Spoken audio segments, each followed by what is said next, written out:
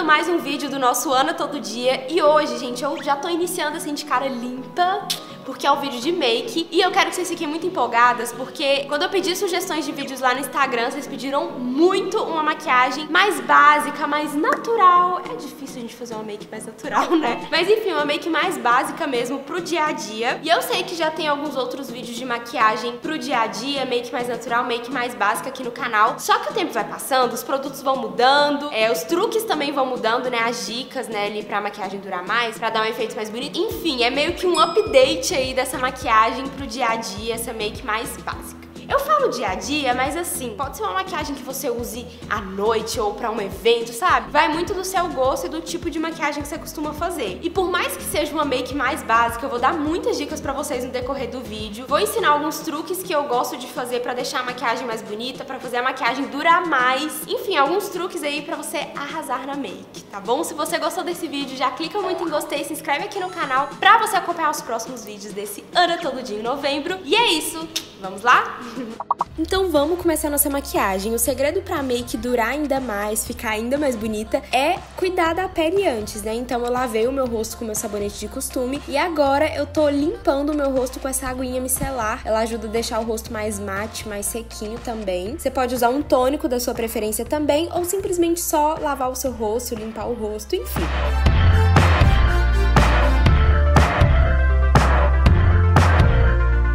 Agora eu vou aplicando esse hidratante nas minhas olheiras, ele também é um clareador. Eu sei que eu vou vir com a maquiagem depois, mas aplicar um hidratante nas olheiras ajuda a evitar que o corretivo craquele, ajuda o corretivo a durar mais também e ficar com um efeito mais bonito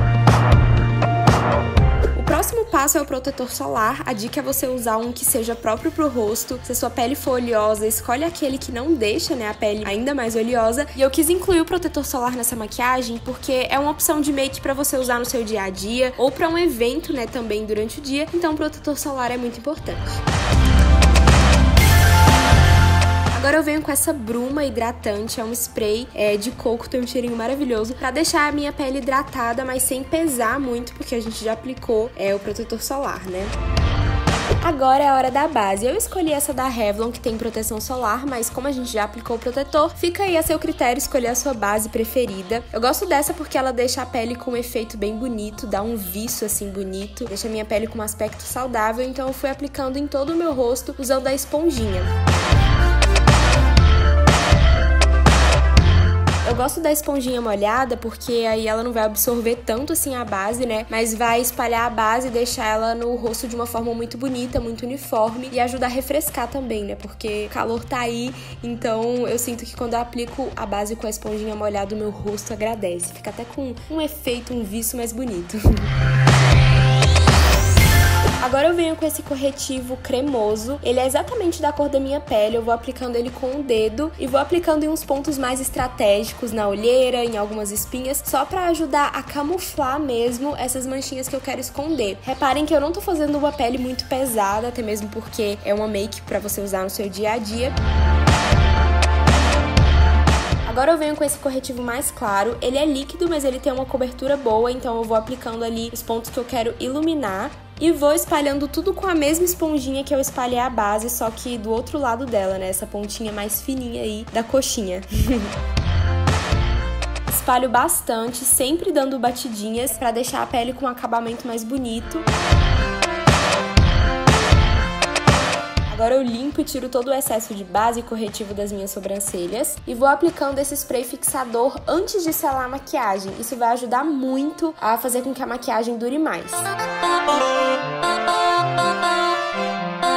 Agora eu vou corrigindo as minhas sobrancelhas, como de costume, com a sombra que eu sempre gosto de usar, e vou aplicando essa máscara incolor para deixar o acabamento das sobrancelhas mais bonito, com mais volume e um efeito mais natural, assim.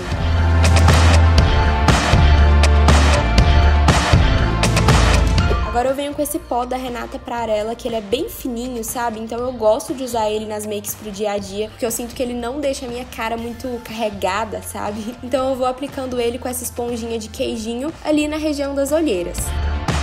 Eu deixo o pó ali agindo, digamos assim, nas minhas olheiras e vou fazendo os outros passos da make. É, pego esse contorno, né, esse bronzer, e vou contornando todo o meu rosto. Vou devolvendo todas as sombras do meu rosto, enfim.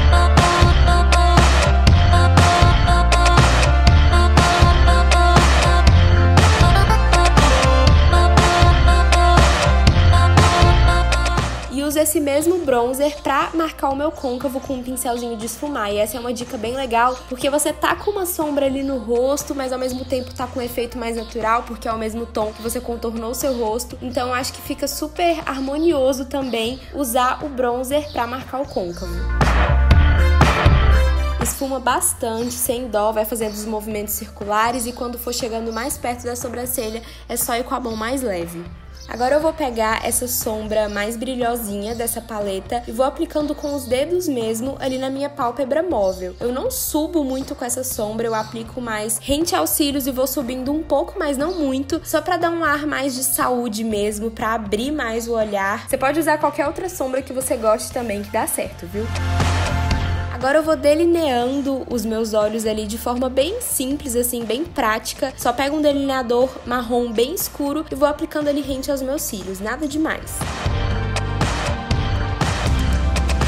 E aí eu venho com uma sombra marrom escuro, mais chocolate, e vou aplicando ali também rente aos cílios para criar um degradê bem bonito junto do delineador que a gente passou. Então é algo só para abrir mais o olhar e para dar um efeito de que os seus cílios são mais volumosos, sabe? Quando a gente aplicar a máscara de cílios vai dar para entender melhor. E falando em máscara de cílios, a gente vai aplicar agora. Eu gosto de usar uma máscara resistente à água no dia a dia porque me ajuda, né? Às vezes eu tenho mania de coçar o olho ou sei lá, vai que eu pego uma chuva, então eu gosto de usar a máscara à prova d'água e eu sinto que os meus cílios ficam mais firmes, mais curvados com a máscara à prova d'água, entende? Então eu gosto de aplicar no meu dia a dia. Agora eu venho com um pincel de pó e vou limpando todo o pó que a gente aplicou rente às olheiras. E depois eu venho com um pincelzinho chanfrado, pequenininho, e vou aplicando um pouquinho daquele bronzer que a gente aplicou no rosto ali abaixo da linha d'água. Máscara de cílios nos cílios inferiores. Blush para dar aquele ar de saúde. Eu gosto de aplicar não somente ali nas bochechas, mas puxar um pouquinho pro nariz também para dar um acabamento, né, um efeito mais natural, mais bronzeada iluminador eu vou aplicando esse da Luisance, que é um tom mais amareladinho. Eu acho que ele fica super legal pro dia a dia, porque ele não carrega demais, sabe? Se você usar um iluminador muito branco ou num tom muito bronzer, assim, mais escuro, talvez carregue e pese a sua maquiagem. Então pega um tom de iluminador que você acha que vai ficar legal aí para você usar durante o dia. Vou iluminando todo o rosto, abaixo das sobrancelhas e aplico novamente o spray fixador. Nos lábios eu aplico um lip balm, ele também tem proteção UV. Depois eu venho com esse batom da The Balm que deixa a boca bem rosinha. E depois eu também venho com esse gloss que ajuda a dar volume e é isso. Tá pronta a nossa maquiagem pro dia a dia. É claro que você pode mudar e adaptar aí de acordo com a sua rotina, de acordo com o seu gosto. Eu confesso que, de acordo com a minha rotina, eu até usaria essa maquiagem aí à noite para sair.